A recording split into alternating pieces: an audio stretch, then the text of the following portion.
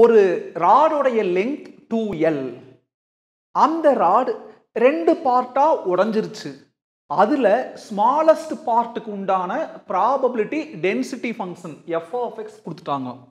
அந்த ஸ்மாலஸ்ட் பார்ட்டுக்கு உண்டான மீனும் வேரியன்ஸும் கண்டுபிடிக்க சொல்கிறாங்க பாருங்க எஃப் ஆஃப் எக்ஸ் ரெண்டா ஸ்பிளிட் ஆகிருக்குது அப்போது அது நம்பர் லைனில் கொண்டு வந்துடலாம் ஏன்னா ப்ராபபிலிட்டி டென்சிட்டி ஃபங்க்ஷன் அதாவது uncountable minus infinity to plus infinity பாருங்க ஜீரோலிருந்து எல்லுக்குள்ள டிஸ்டன்ஸ் ஜீரோலிருந்து எல்லுக்குள்ள எஃப் ஆஃப் எக்ஸ் என்னது? ஒன் பை எல் அப்புறம் எல்லுல இருந்து டூ எல்லுக்குள்ள எல்லிருந்து டூ எல்லுக்குள்ள என்ன எஃப் ஆஃப் எக்ஸ் ஜீரோ பாருங்க. அப்போ அவங்க இதை பற்றி பேசவே இல்லை. லென்த்து நெகட்டிவில் வராது. மொத்த லென்த்து டூ எல் அப்போ அது டூ எல்ல தாண்டாது. அதுதான் லாஜிக் ப்ராக்டிக்கலாக யோசிச்சா அதுக்குண்டான மீனிங் இப்போது first E e of x கண்டுபிடிச்சிக்கலாம். ஏன்னா மீனுக்கு இ ஆஃப் எக்ஸ் தேவைப்படுது. என்ன formula integral minus infinity to infinity எக்ஸ்னா x into f of x dx equal to minus infinity to infinity எப்படி ஸ்ப்ளிட் ஆயிருக்குது ஒன் டூ த்ரீ ஃபோர் நாலு இன்டர்வலாக split ஆயிருக்குது. அது லென்த் பாசிட்டிவ் அப்போ இந்த ரெண்டு பகுதி வரல. மைனஸ் இன்ஃபினிட்டி டு இன்ஃபினிட்டிக்குள்ள இதை பற்றி அவங்க பேசவே இல்லை. அப்போ நம்ம இதை மட்டும் எடுத்துட்டாலே போதும் integral zero to L x f of x dx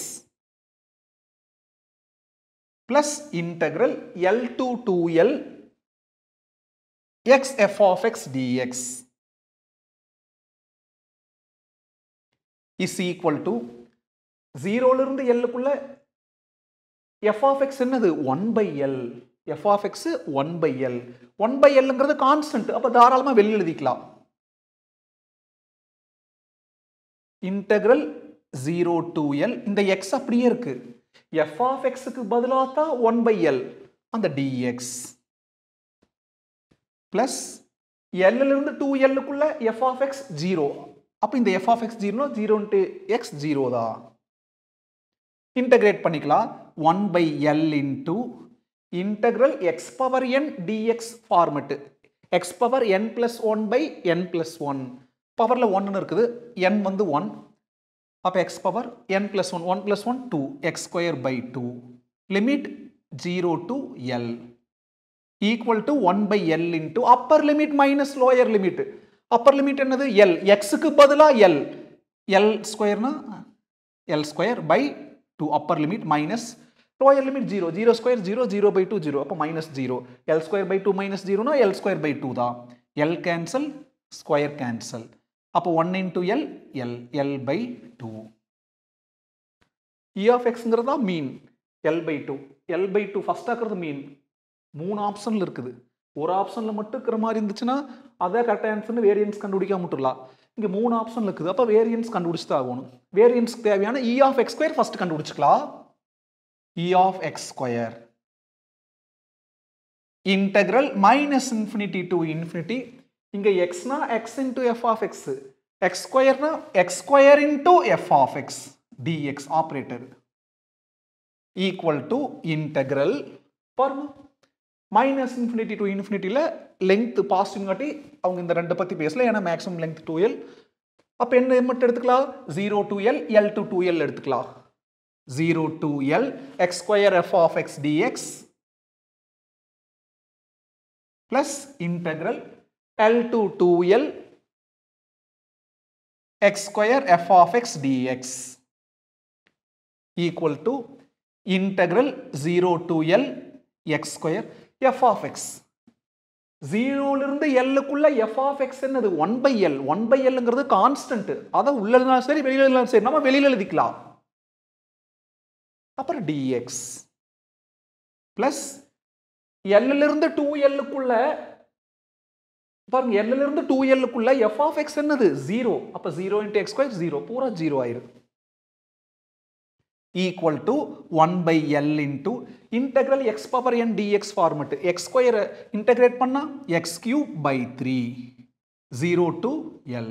அதாவது x power n plus one by n plus one two plus one three two plus one three equal to one by L into upper limit minus lower limit upper limit என்னது? L எக்ஸுக்கு பதிலாக L L cube by three